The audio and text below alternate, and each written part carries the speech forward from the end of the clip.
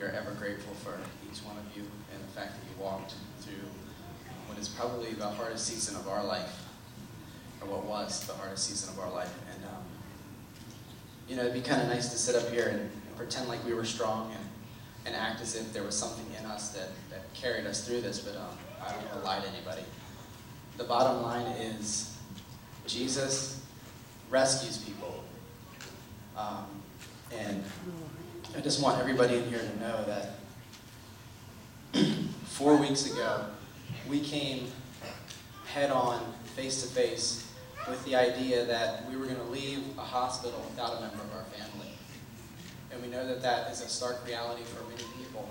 And we know that there's nothing in us that puts us in a different game or in a different position to where we deserve it more than the next guy. And we also came head on with all these theological ideas that we had, that we developed, that we've come up with. So, in essence, our theology was like a tire hitting the road for the first time. And the question is is it going to work? Is it going to hold air? Is it going to get us to where we need to go? And um, I'll say that God is faithful.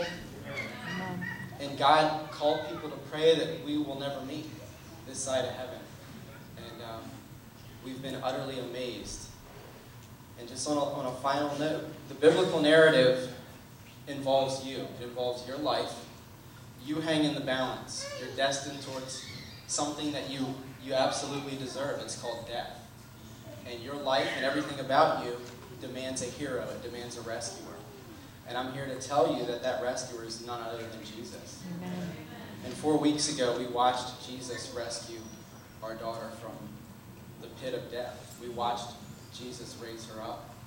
And uh, we are utterly baffled and amazed to even be standing here before you, the six of us.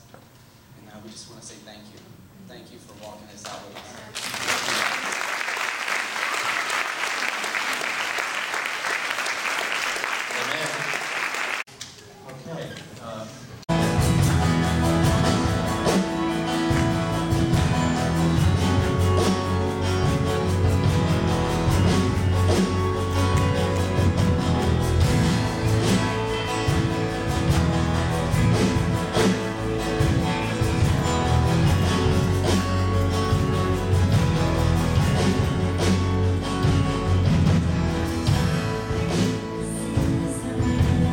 Peace.